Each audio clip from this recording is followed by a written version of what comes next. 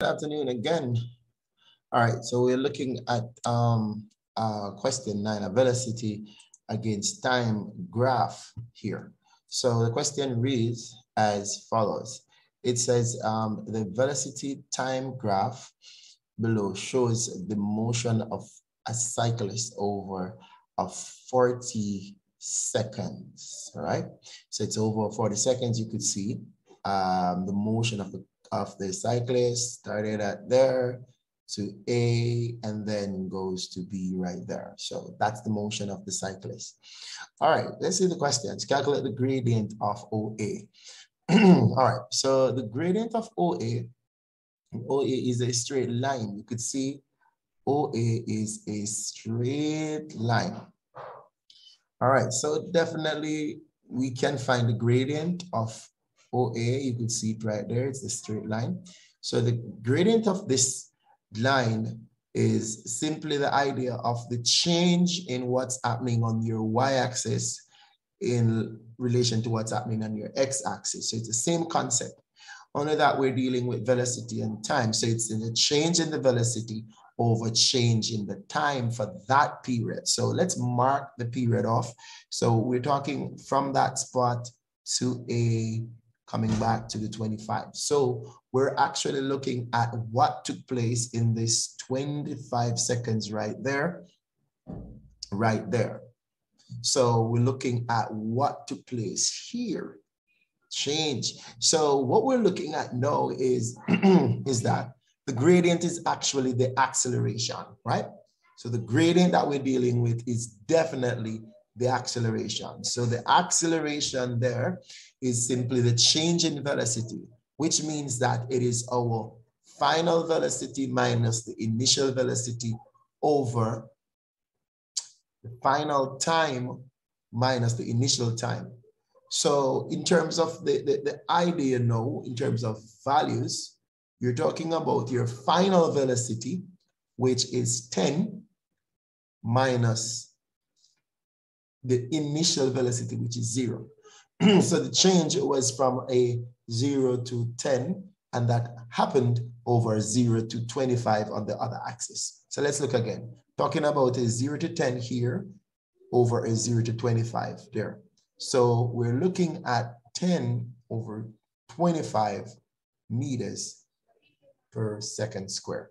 So that is actually the acceleration. So let's put it right there. So the gradient is equal to, this is equal to 10 over 25 uh, meters per second square, or it could be written as 10 over 25 meters per second square.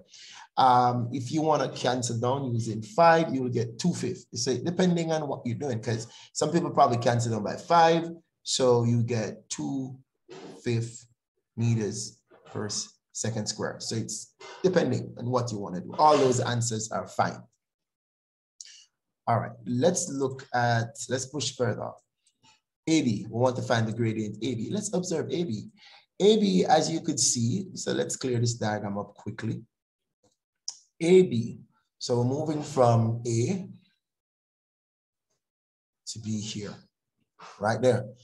so AB is a straight line. And not only that, it's not a slope, right? You can see that it's a line that is parallel to the x-axis here.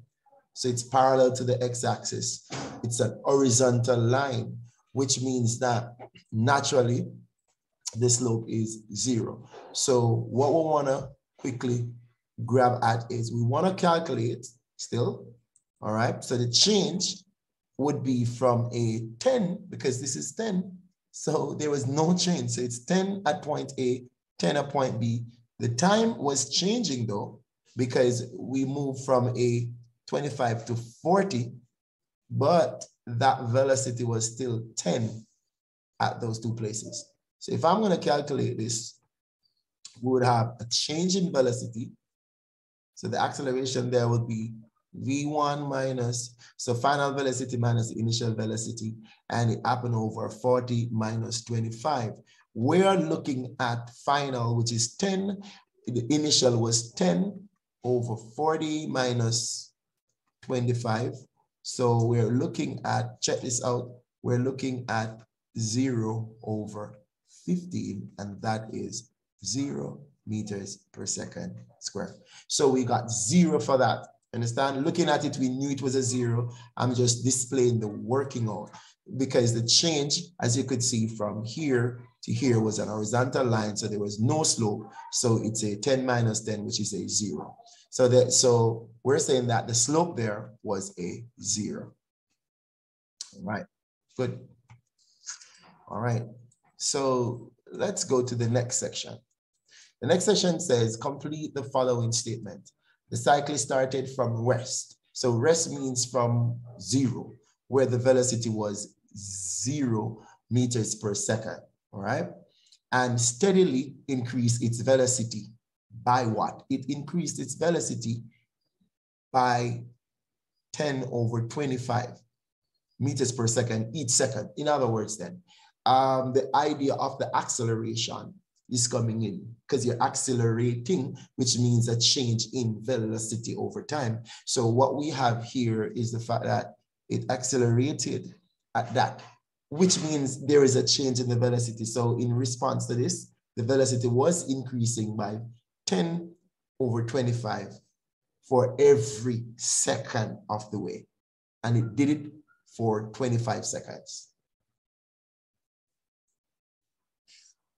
During the next 15 seconds, during the next 15 seconds, the velocity remained constant. This means that the acceleration is zero. The velocity remains constant, the acceleration is zero right? Because acceleration is the change in velocity. So if the velocity remains constant, then there is no acceleration.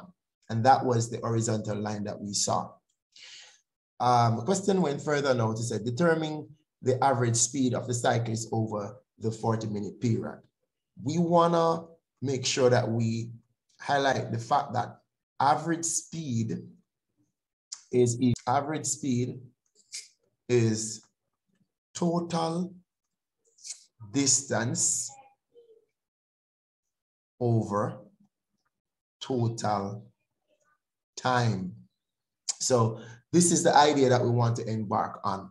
Now, we haven't had this though. We don't have the distance. So we're gonna have to make an effort to find the distance. And then we know that the time is 40 seconds. The distance though, let's go back to the diagram. The distance of a velocity against time can be easily calculated by looking at the curve. So it is the area under the curve. What do I mean? The distance traveled is going to be the area of this shape that you're seeing.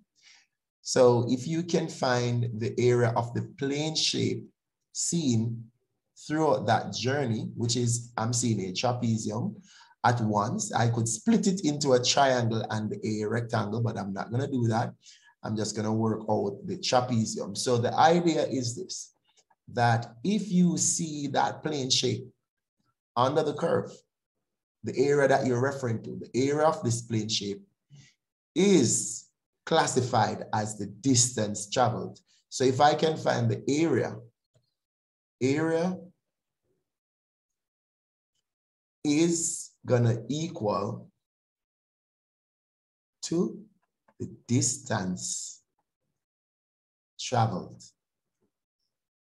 So this area that I'm seeing is a trapezium. So I'm gonna just put it on the side here. So the distance is simply the area of the trapezium. The area of the trapezium is simply this half the sum of the parallel sides. So we're talking about from A to B, which is 25 to 40, that's 15, plus 0 to 40, that's 40. Half the sum of the parallel sides times the height, and the height is 10. So we're putting together that figure, um, try not to make an error. So we're talking about um, 55 divided by 2, and then multiply by 10, and we're going to get 270.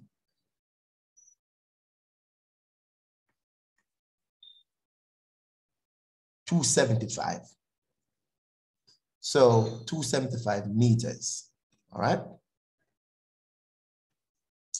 So then the distance is 275 meters throughout that journey. So now we could take that distance here and solve this problem now.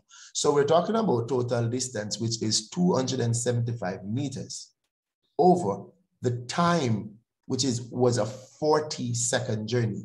So total distance over total time, 275 divided by 40, and we're looking at 6.875 meters average speed per second, right? So that's meters per second. So we're talking about that meters per second. So there it is, there it is, there it is. That is our average speed. All right, thank you for watching. Please like, subscribe, and drop a comment.